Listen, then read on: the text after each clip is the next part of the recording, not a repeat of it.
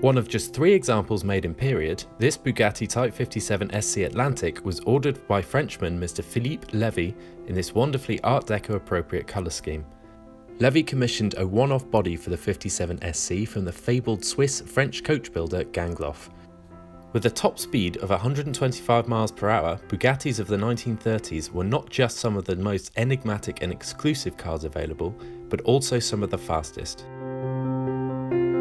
To open the door, pull the handle down and pull the door out towards you.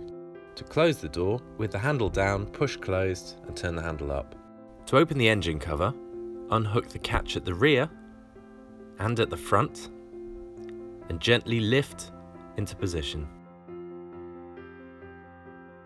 To close the engine cover, lower carefully into position and rehook the front catch and the rear catch to secure it.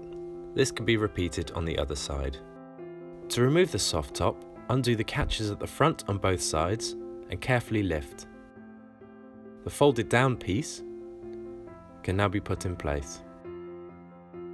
To return the soft top, remove the replacement piece, put the soft top back in place using the location pins at the rear and tighten with the catches at the front. To remove the wheel cover, gently unscrew the nut. You can now lift the cover off to reveal the spare wheel. To replace, put the cover back into position and gently rethread the nut. Tighten carefully. If you own one of our models of the Bugatti 57 SC Gangloff, we hope you appreciate the passion we have brought to making the best models in the world and trust it will bring you great pleasure. If you have any question about this or any of our models, we are always at your disposal by email or phone.